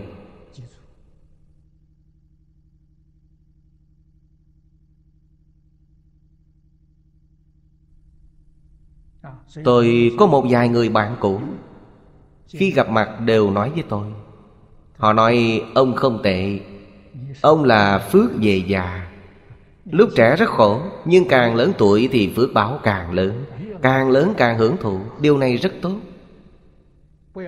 Không nên khi trẻ hưởng hết phước, đến già lại chịu khổ. Như vậy thì thật đáng thương. Con trẻ chịu ít khổ không sao. Có sức khỏe thì có thể chịu đựng được. Tuổi già mà chịu khổ mới thật khổ.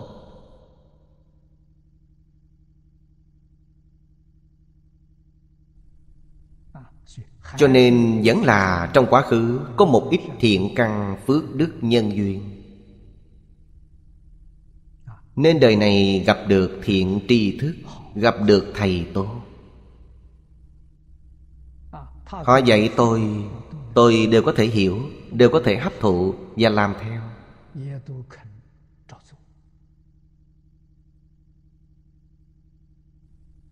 Nên thầy cũng chịu vậy tất cả đều làm hết mình. Chúng tôi không nộp đồng học phí nào.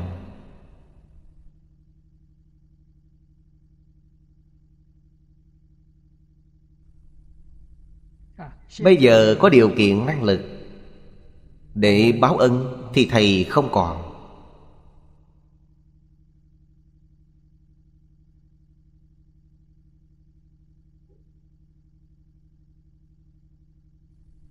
cho nên chỉ còn cách đem hình của thầy treo nơi giảng đường. Mỗi ngày đều nhìn thấy, mỗi ngày đều nhớ đến. Không quên giáo huấn của thầy, mà y giáo phụng hành. Chúng ta tu học có thành tựu, là an ủi lớn nhất của thầy.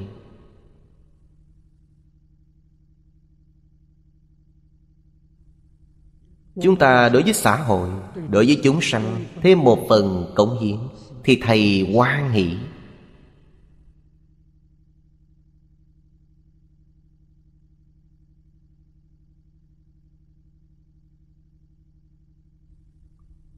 Phật Bồ Tát quan hỷ.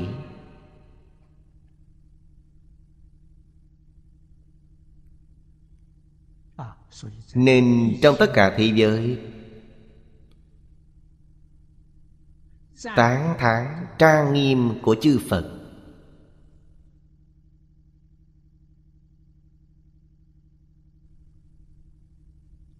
Tán thán thiền hữu. Tán thán thánh hiền. Tán thán diệt tốt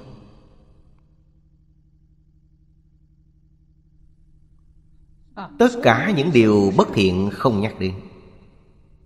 Không nên phê bình không nên trách cứ. Trong tâm hoàn toàn thanh tịnh, không nhiễm chút trần nào. Đây mới có thể thật sự giúp xã hội.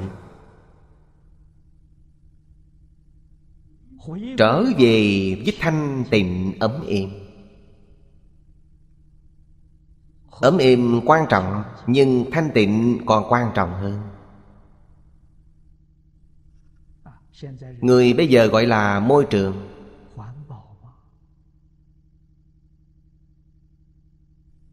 Duy trì môi trường trong tâm quan trọng hơn so với duy trì môi trường bên ngoài. Nếu tâm chúng ta không thanh tịnh, cảnh bên ngoài có duy trì cách nào cũng không thanh tịnh. Trong kinh phật dạy, tâm tịnh thì cõi nước tịnh. Nên duy trì môi trường bắt đầu từ đâu? Bắt đầu từ tâm thanh tịnh. Đây mới thật sự là duy trì môi trường.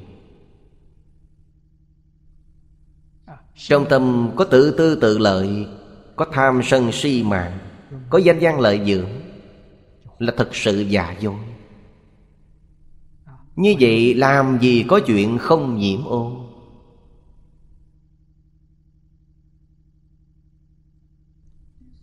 Bốn là Vô tam bảo xứ, Thị Pháp trang nghiêm giả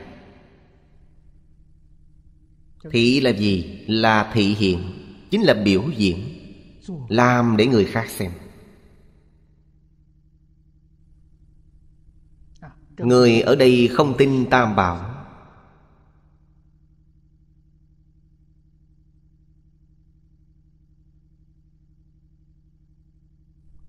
không cần tam bảo. Vậy có nên bỏ không quan tâm họ chăng? Không thể, cần phải sanh tâm thương xót. Họ không biết tam bảo. Nếu họ biết thì làm gì có chuyện không tôn kính? Cũng giống như chính tôi vậy. Lúc còn trẻ chưa nhận thức được Nên không biết gì. Luôn cho rằng Phật giáo là mê tín Là tôn giáo. Nên không muốn gần.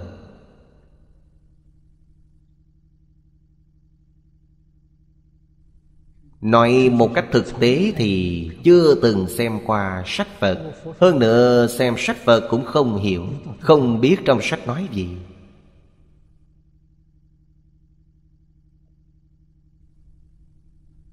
Nên suốt đời này, Tôi vĩnh viễn cảm tạ Thầy Phương. Không phải Thầy Phương, Tôi sẽ không tin Phật. Không thể.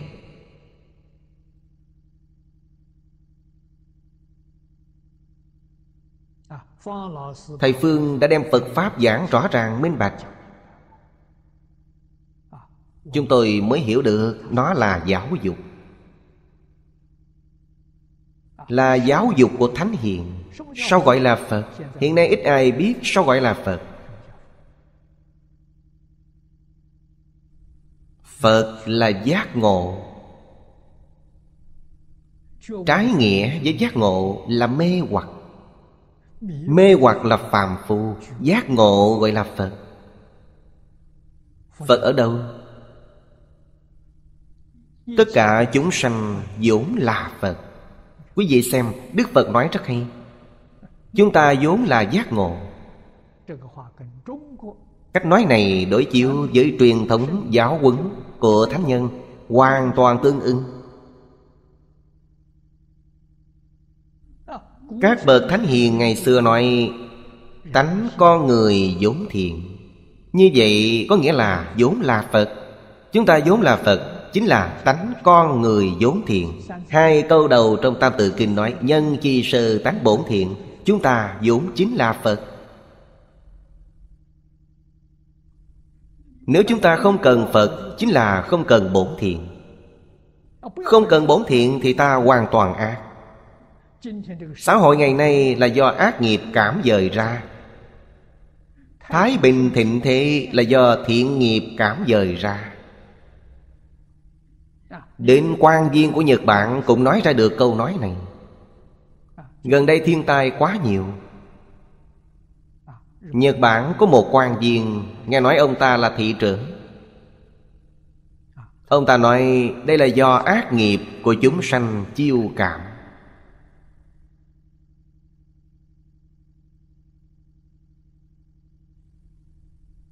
Dẫn khởi ra. Người Nhật từ xưa đã tiếp thu truyền thống văn hóa xưa Duy trì rất tốt. Bây giờ đã có phần biến chất. Biến chất đây là gì? Sau đệ nhị thế chiến, Văn hóa Tây Phương truyền vào Nhật Bản.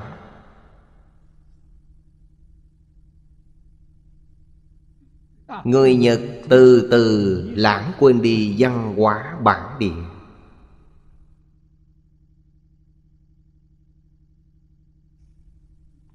Tôi ở Nhật Bản có phòng vấn Tham vấn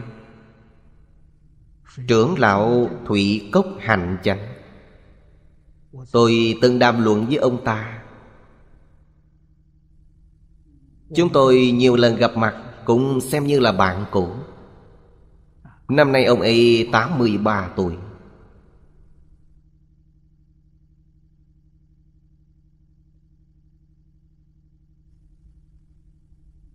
Truyền thống văn hóa quan trọng, Phật Pháp Đại Thừa cũng quan trọng.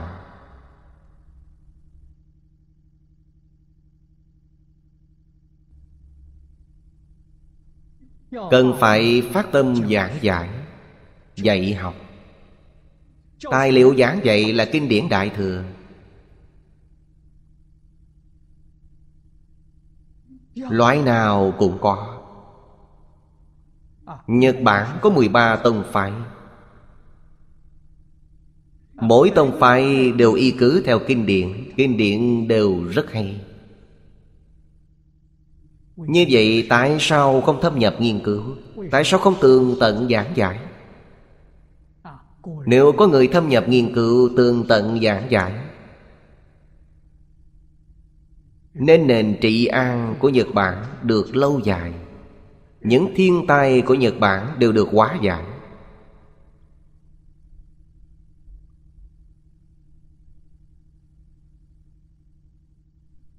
Nên nơi không có tam bảo, Thì nên thị hiện ra Pháp trang nghiêm. Như vậy, ngày nay Phật Pháp Đại Thừa Thật sự có thể dùng Báo cáo của giới khoa học Để chứng minh.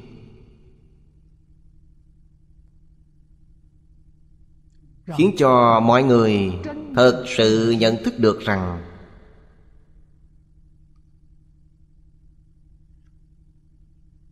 Phật Pháp là giáo dục, Phật Pháp là khoa học, Phật Pháp là triết học.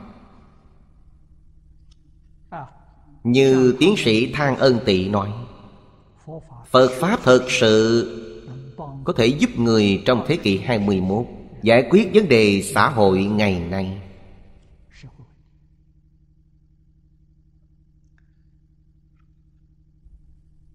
Thử nhị thập cửu chủng Giai do di đà chi nguyện tâm Là thành tựu 48 nguyện của Phật A-di-đà